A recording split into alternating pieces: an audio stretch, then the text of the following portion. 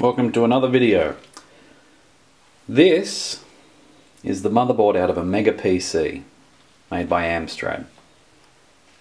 Nothing too special about it. However, this one I believe is going to be the best one there is. This little fellow over here. Zoom, zoom, zoom. Focus, focus, focus. Look at that. Texas Instruments 486 50 megahertz. I'm going to try and put that in place of uh, this little fellow here. The AMD 25 megahertz 386. Now this this it is a 486, but uh, it's more like a very crippled 486. So I'm doing it for the megahertz more than anything. Uh, there's also a bit of bit more cache, which I don't think this one has any cache at all. So this should have some sort of cache. And as we all know, cache makes a pretty big difference in the world of CPUs. So that's the aim. I have no experience in desoldering this sort of package. I've had uh, minor success with removing these type of chips off uh, PCBs, but uh, not these little uh, four-sided beauties. I'm just thankful it's a bit smaller than that one there. That one's even bigger. Oh god, there's, there's heaps of huge chips on here. I'm, I'm very happy that the CPU is so small and quite possibly energy efficient. So stay tuned and uh, the next video you see should be of me desoldering that AMD chip. Wish me luck. It's time to try and desolder this chip. Let's see how we go. 25 pins per side, one heat gun, and a flat blade screwdriver. So give this a try.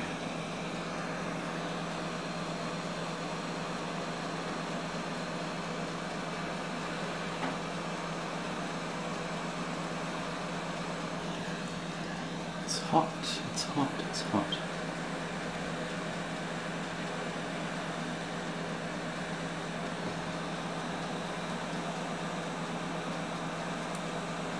Starting to lift.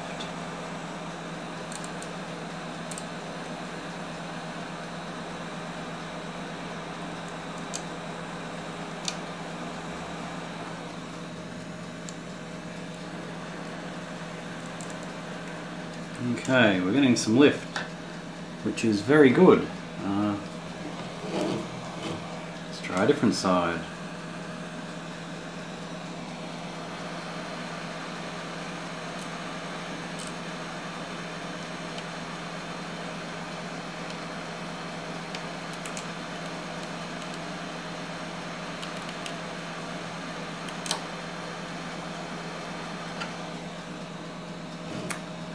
Lift everywhere. The board is quite hot. So I'm going to let it cool for a little bit. Because I don't want to melt anything in the vicinity. Ow, ow, ow, ow, ow, ow, ow, ow, ow, ow, ow, ow. Don't really want to melt anything. So we'll uh, be back in a minute. Okay, it hasn't cooled down that much, but I don't have any patience.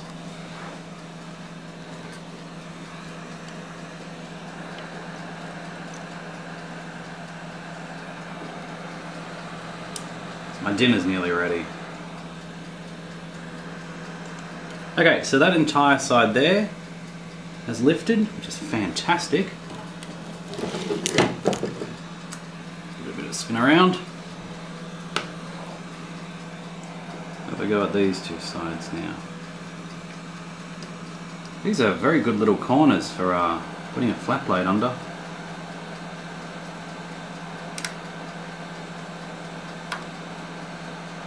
Makes the whole process significantly easier.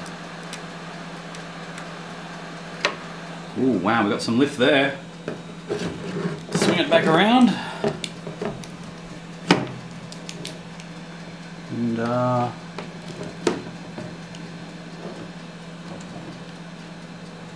see what we can do to this last side, last corner.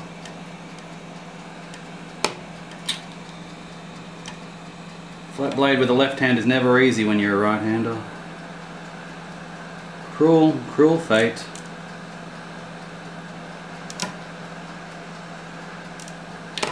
Ooh. Lift off. Hot. Chip removed. And there you have it. I've damaged maybe, oh, maybe one track. Lifted one track. So let's have a look at my work here. Ah.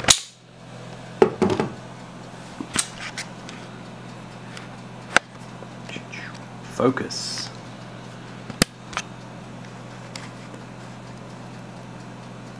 Three eight six SX. Well, that's what was on there.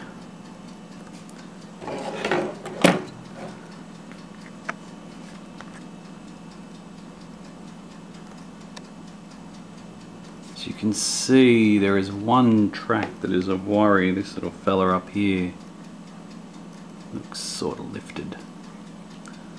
The rest, though, look to be uh, pretty good. It's a pretty good job. Now I can sell this CPU to those people who like to buy them. Just collect the chips themselves. Wow, it's really hot. It's pretty boring on the underside. So many uh, assumptions on this upgrade. One of the big ones is that it will even work. But uh, while they do look very similar. Just hoping they're similar enough to be exactly the same mechanically.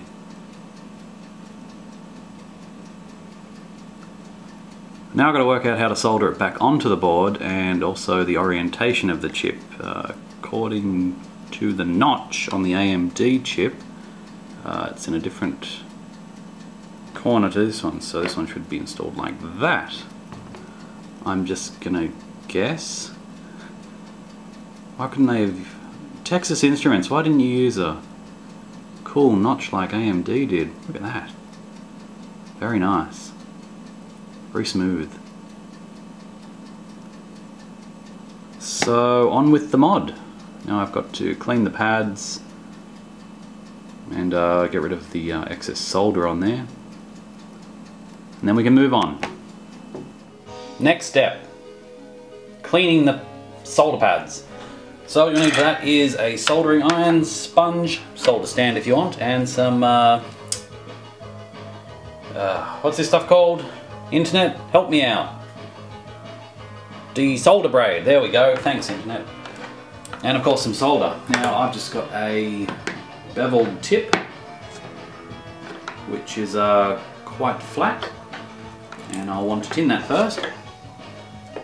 Just add a little bit to the end if it's working. There we go. So I got a bit on the end and then you just hit it on the sponge.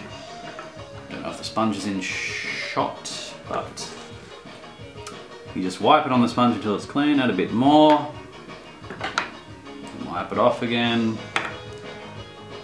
and it's nice and tinned. So, what we want to do is use the desoldering braid to remove all the left behind solder that the original CPU left. So we just put the braid over it and apply heat. In theory that should work. The other guy making videos had exactly that. It hasn't worked for me, so I'll just have to keep applying heat. Oh, it works! There you go. This is uh, only a 25 watt soldering iron. I had to change because uh, the other one, I couldn't get the, uh, the tip out. It was sort of fused in with the, uh, yeah, it wasn't good. So, so far I've done about five pins, so I just keep doing that.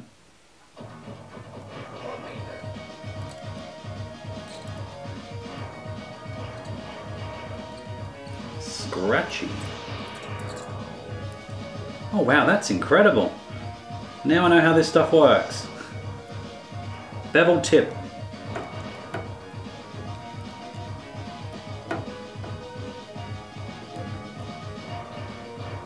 So there we go, so there's four sides, so that's one of them. Excellent. Now I've got to be very careful of that lifted leg. Looks like it's pin 50, 1, 2, 3, 4, about 56, 57. So I'll do that side last. And I put the tip in back to front. Soldering iron cable wants to go the other way. It's all good.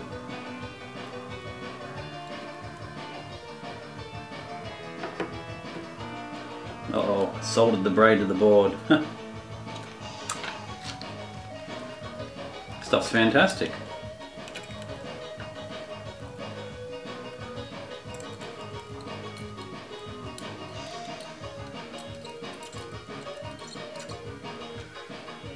Another clear side. Fantastic. Given how well this is going, there's almost certain failure when I when I put the CPU back on. Things never go this good. This way. So that's two sides clear, one to go.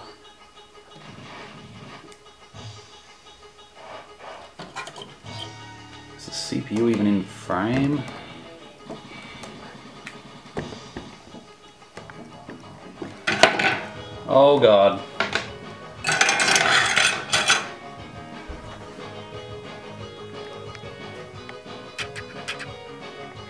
That's better. Wish I had an autofocus camera.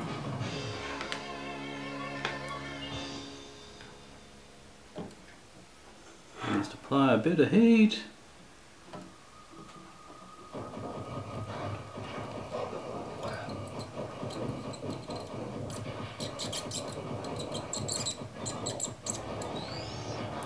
Fantastic. Wow, this braid's absorbing a bit of heat. It's starting to burn my finger. ow. Ow, ow. It's all good. Now the last side with that lifted leg. Start up the top. Do the easy ones.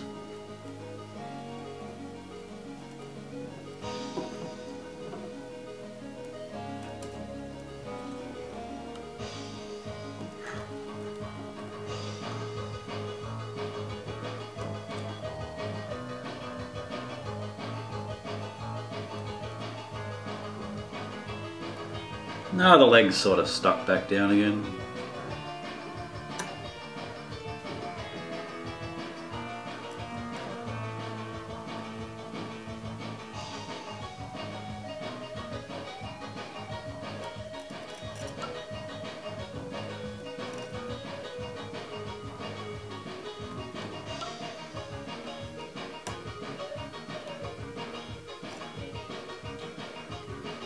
Ow! Wow, it really gets hot. A few more little bits to go. Pardon me.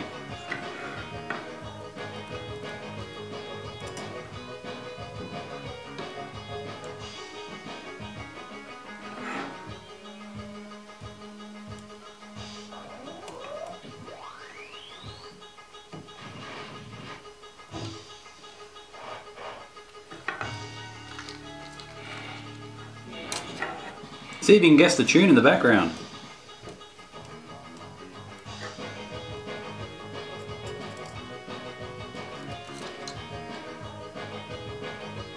If you can hear it. no, I can. Alright, so once that's all desoldered, just give your soldering iron another tin. You see lots of tinning going on. Probably added way too much now. We'll wipe it off onto the uh, sponge. Get burnt by a piece of stray solder? Why? Oh, it melted to the... Ow. I don't know if you can see that there, but it's melted to the side of my soldering